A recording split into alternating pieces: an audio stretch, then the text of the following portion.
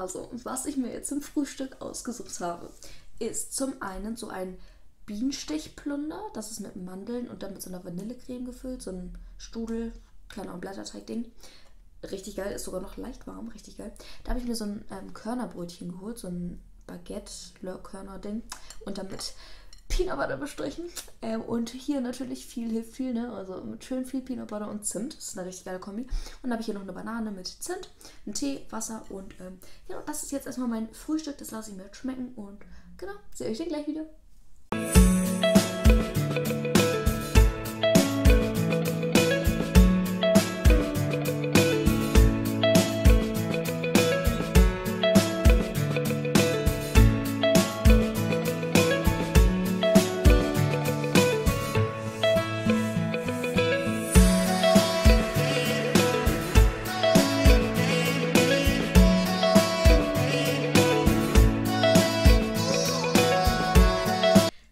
Leute, bevor es jetzt auch mit dem Video weitergeht, möchte ich euch erstmal den Hintergrund des Videos erklären und erzählen.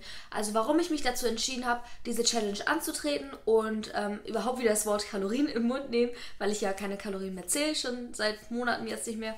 Und ähm, genau, einfach warum ich diese Challenge heute mache. Und die Antwort ist ganz einfach eigentlich. Und zwar habe ich von euch so, so viele Nachrichten bekommen und auch Hilferufe ähm, bezüglich Themen wie Fressanfälle oder auch so Feiertage wie Weihnachten, Geburtstage, an denen man Tage, an denen man einfach mal mehr, deutlich mehr isst als sonst, deutlich mehr isst, als man ja normalerweise essen würde, ähm, vielleicht oder auch ähm, be bestimmte Dinge isst, die einem Angst machen, die vielleicht für einen noch schwer sind oder die man auch immer noch als schlecht sozusagen einstuft, obwohl es diese Kategorie schlechte und gute Lebensmittel ja nicht gibt.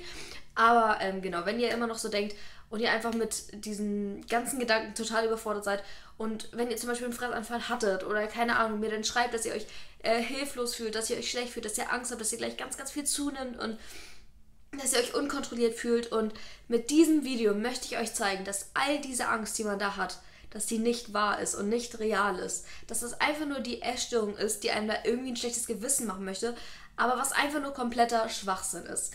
Und wie gesagt, mit diesem Video möchte ich euch zeigen, dass ich morgen, wenn ich aufwache und äh, diese Challenge gemacht habe, nicht anders bin, anders aussehe als sonst, sondern dass alles ganz normal weitergeht.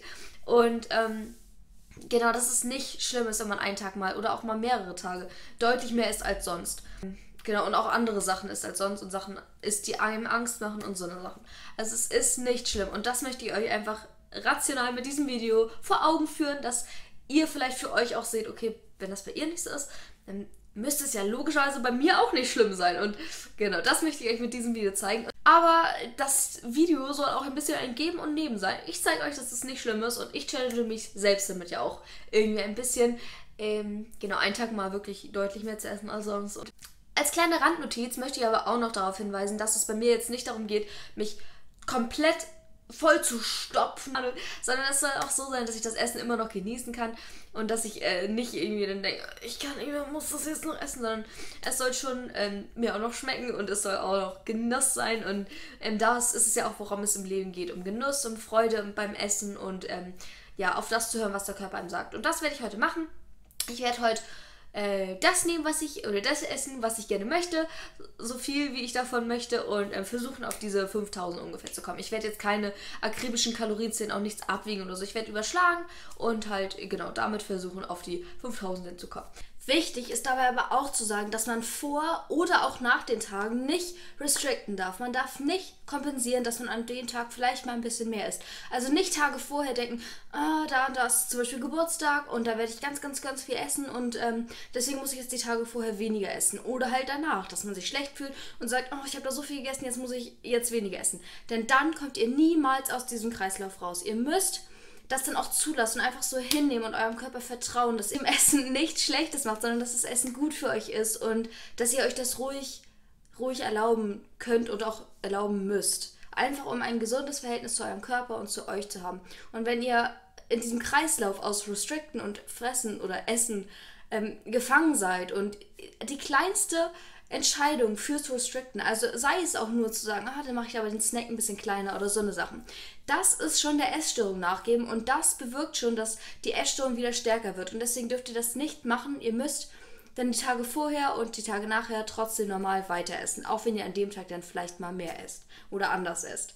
So, das war mir noch ganz wichtig, das gesagt zu haben. Falls ihr sehen wollt, wie ich vorher und nachher, ähm, also nach diesem Tag jetzt esse, folgt mir gerne auf Instagram, da nehme ich euch immer mit. Ähm, essenstechnisch, also da zeige ich euch fast alles eigentlich. Jetzt nicht jede Kleinigkeit, aber fast alles eigentlich. Und ähm, genau, also da könnt ihr auch sehen, dass ich dann nicht vorher oder nachher irgendwie mehr oder weniger esse. Eher weniger esse. Also mache ich nicht, sondern äh, ich esse dann ganz normal weiter, wie ich auch sonst immer essen würde. So Leute, genug gefaselt. Ich wünsche euch ganz, ganz viel Spaß bei dem Video und ähm, ja, ich würde sagen, wir sehen uns beim Lunch wieder.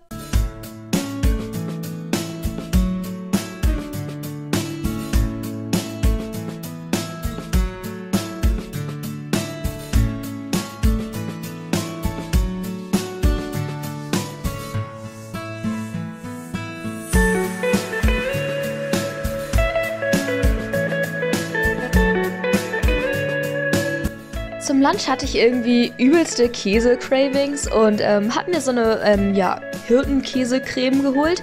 Ähm, da habe ich noch die ganze Packung von gegessen. Und dann habe ich noch diese Antipasti gefüllten, also Frischkäse gefüllten ähm, Pepperoni, diesen Mix äh, mir geholt und dann wieder mit so einem Körnerbrötchen zusammen gegessen und ähm, das war echt richtig geil und ähm, ja, man sieht, ich war glücklich danach und ähm, habe das übelst lange nicht gegessen, aber es war so, es hat sich so, so gelohnt, wirklich Leute, also Hammer.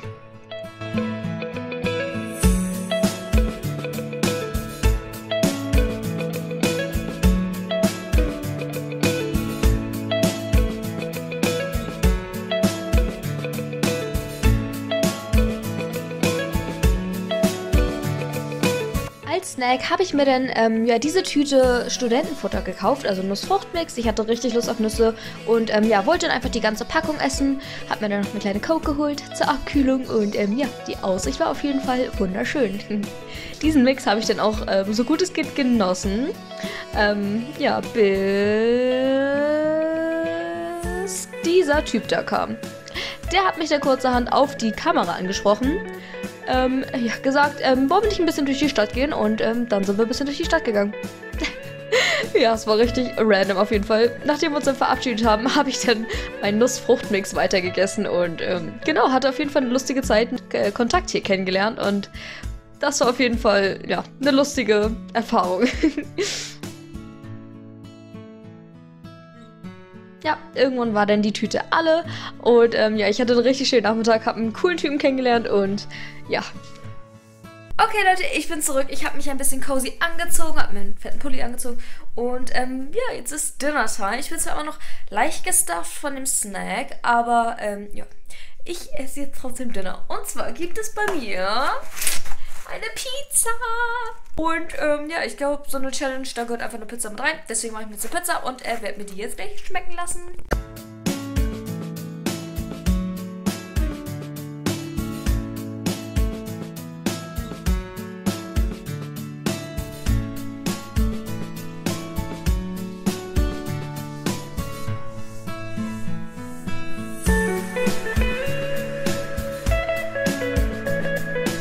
Setze dich deiner tiefsten Angst aus. Danach hat die Angst keine Macht mehr über dich und die Angst vor Freiheit schrumpft und verschwindet. Du bist frei. Dieses Zitat von Jim Morrison beschreibt, wie ich finde, am besten, worauf es in Recovery ankommt. Die Angst darf nicht mehr die Kontrolle über dich haben. Du musst die Kontrolle über deine Angst erlangen. Indem du dich dieser Angst stellst, sie überwindest der Stimme zeigst, dass die Angst total unbegründet ist und dir somit Stück für Stück dein Leben und deine Freiheit zurückerkämpfst. Okay, Leute, es ist Zeit für die letzte Mahlzeit des Tages und zwar ein Night Snack. Und ähm, wie könnte man diesen mega krass erfolgreichen und auch challenging Tag enden, besser enden als mit einer Pit Party? Up, up, up. Ich hab. Ey, nerv nicht. Ich habe hier ähm, ein neues gefunden und zwar von Rewe. Ähm, ich konnte mir leider kein Ben Jerry's kaufen, weil Studentenleben, da ist sowas nicht unbedingt drin. Deswegen habe ich mir jetzt ein günstigeres gekauft, aber es ist genauso krass dicht und sahnig und äh, geil wie äh, Ben Jerry's. Deswegen, wir haben hier das äh, Salted Caramel Cheesecake Eis Oh mein Gott. Ähm, mit, wir haben Eiscreme mit Käsekuchengeschmack, gesalzener Karamellsoße und Käsekuchenstückchen.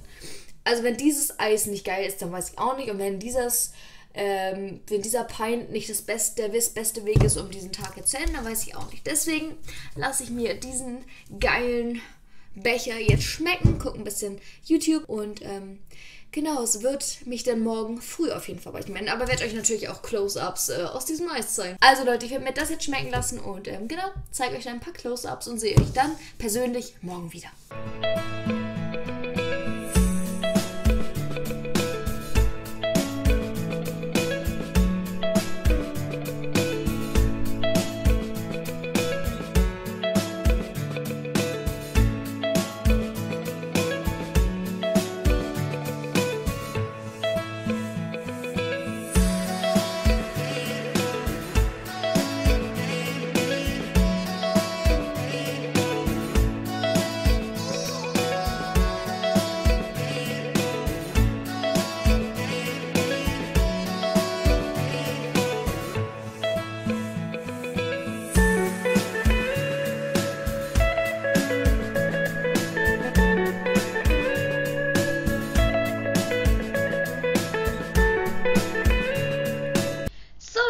Guten Morgen. Es ist jetzt der nächste Morgen und ähm, ich kann euch sagen, ich fühle mich nicht anders. Ich habe die Hose, ich habe genau die gleiche Hose an.